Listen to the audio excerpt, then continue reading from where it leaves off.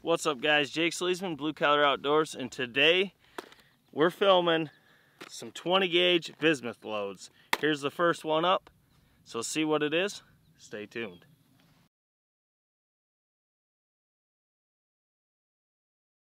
Alright guys, first up, I'm going to be self-filming today.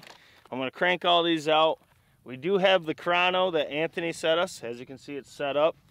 So not only can we analyze the pattern now, thanks to his generous donation, we can check those speeds and see just how accurate that label is on the speeds. Now they are going to differ between shot shells. So having this chrono is going to allow us to really test these loads more in depth. Also, it's going to allow us to do more consistency tests, as in speed consistency tests. And I already got one idea of what I want to do for turkey patterns. I want to take three turkey loads, same load, shoot them on three patterns, check the speeds for all three. So not only can we check consistency of pattern between three loads, we can check the speeds too. So that's down the road. But today, we're going to be shooting this Hevi bismuth. This is a 20 gauge, three inch shell. Now this is four shot bismuth.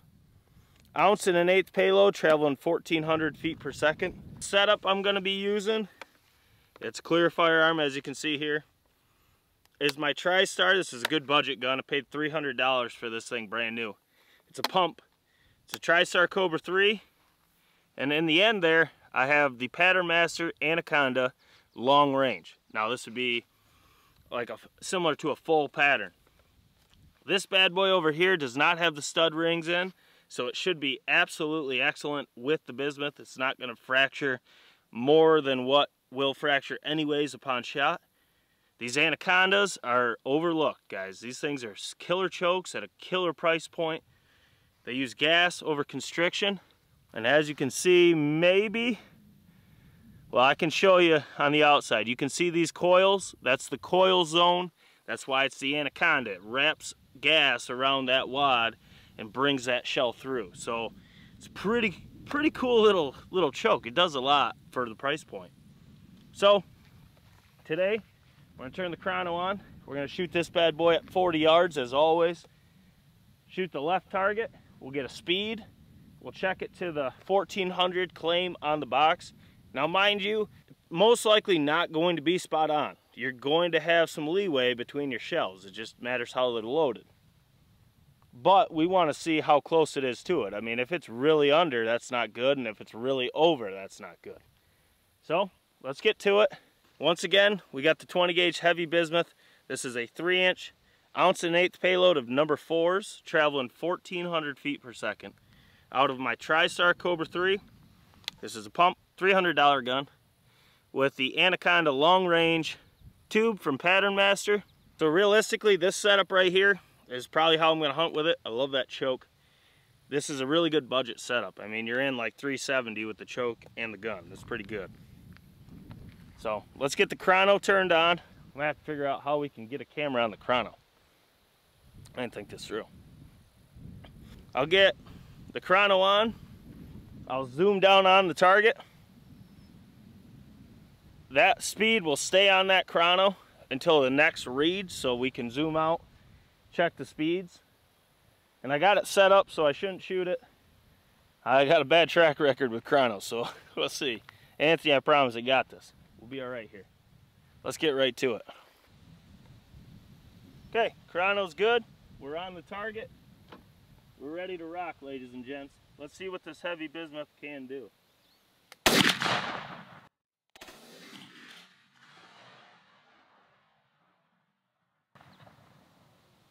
Whoa. All right, that's not what I was anticipating.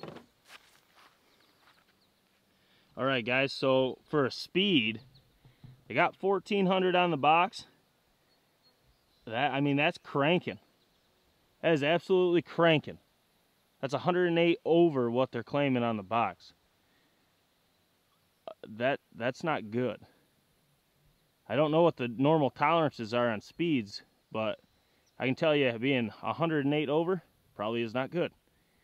At least I don't think so. Being a machinist, I would think you'd have tight tolerances on something like that.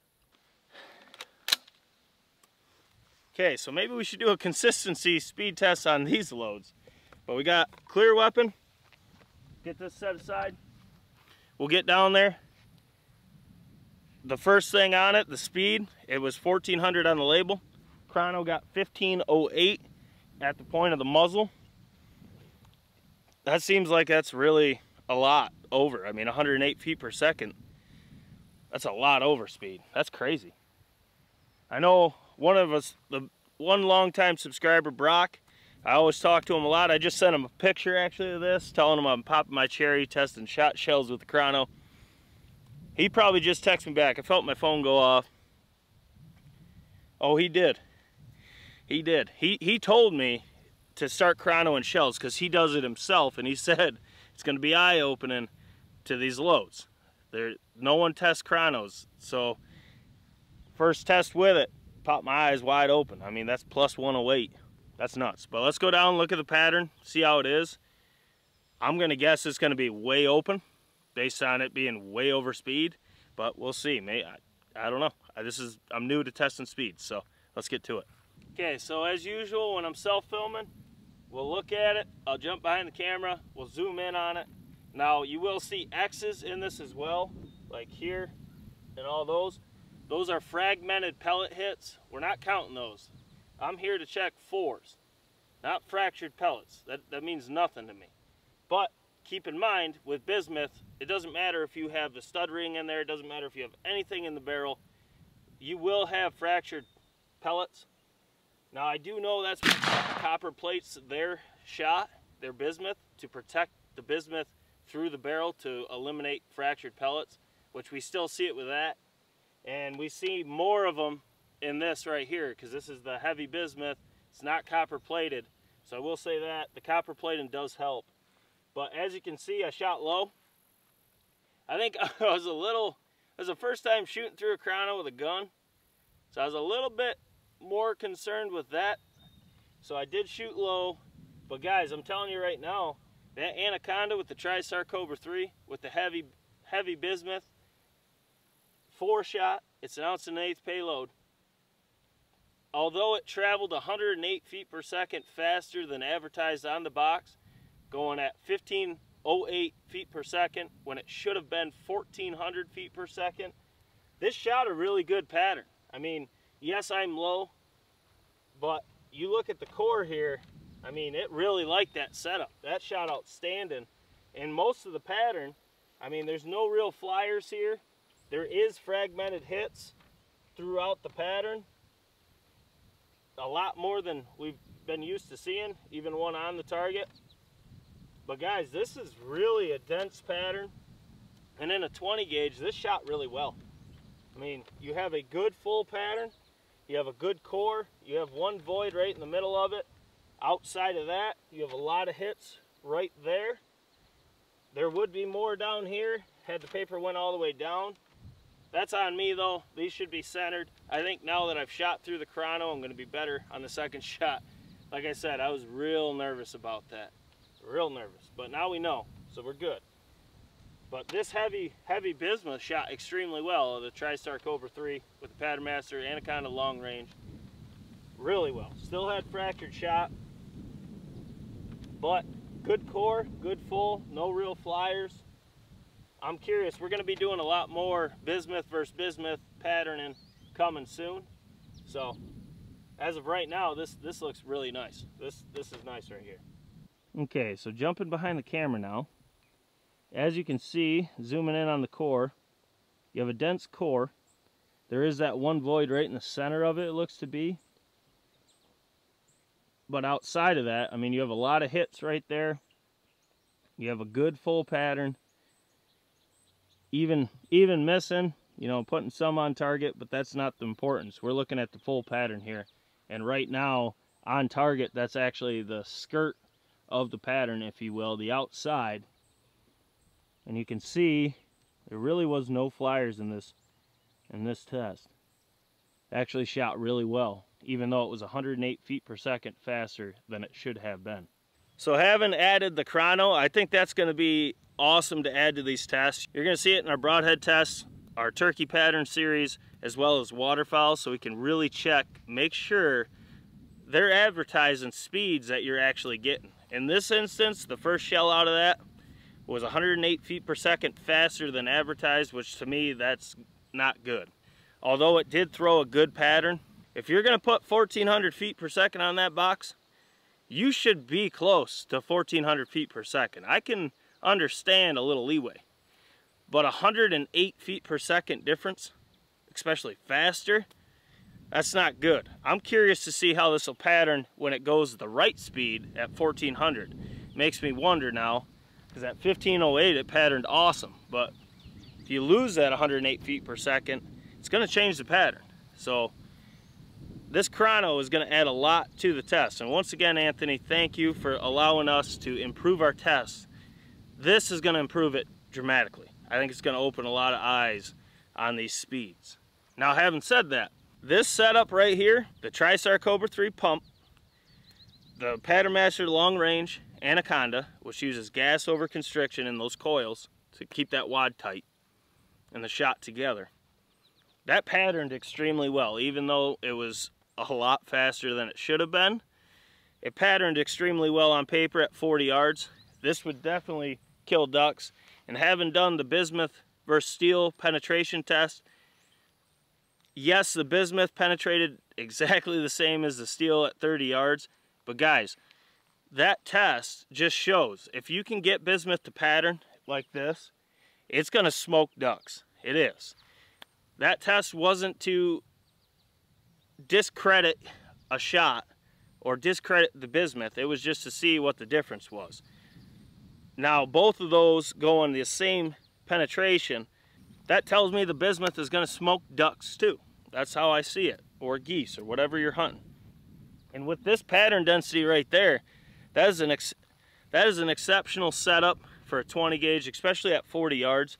I'd be curious to see how it looks at 20 and 30. We're going to be doing a lot more 20 gauge and 12 gauge bismuth versus bismuth.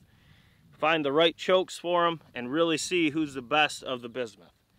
Now I will say there's a lot more fractured shot in this than the copper plating. That copper plating helps protect the shot. So I will add that to this video as we're going to put all these against each other. And I think you'll see less shot fractured in the than you will with the other bismuth being it's a really brittle metal and they're, they're unprotected. It's a good job of protecting it. I will add that. As we've been saying, guys, we're pushing for that 10K subscriber. If you want honest tests, you want true performance talks, the rest walks, you found the right channel, hit that subscribe button, hit the notification bell, share this with all your hunting buddies. Also, smash the thumbs up button, drop a comment below. Let us know what you thought of the test, especially the speed. For those that have chronoed a lot of loads, drop a comment below. Let me know what the normal tolerance is, because I don't know. But to me, 108 feet per second over what it should be is not good. That's just, that seems like common sense. That's a lot faster than it should be. When we get to that 10K subscriber mark, we're going to give away a 20 gauge setup. The link breaking down that whole giveaway will be down in the description below. So let's get to 10K, share these videos out. Let's give away that setup. It's going to be awesome for whoever wins. Maybe we'll do two. Maybe we'll make it two winners. I don't know. i have always been, I like doing extra for the channel because without you guys, we wouldn't be able to do this.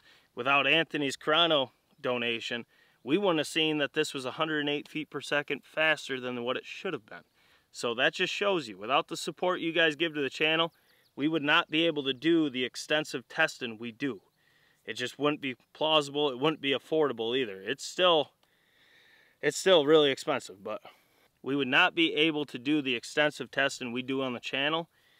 So for that support, that's why with when we do giveaways, I want to give as much as possible, help you guys go out and be successful in the field. But guys, I got a couple more videos to film yet. Got to edit all this week's uploads, get them all ready to drop.